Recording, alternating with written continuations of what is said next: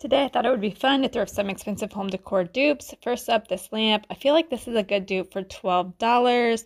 And then there was this $170 planter basket, in which I found a very similar one for only $2.50.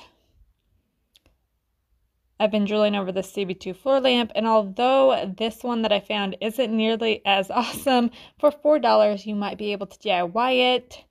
And last but not least, this may be the best $3.99 dupe. Let me know what item was your favorite below.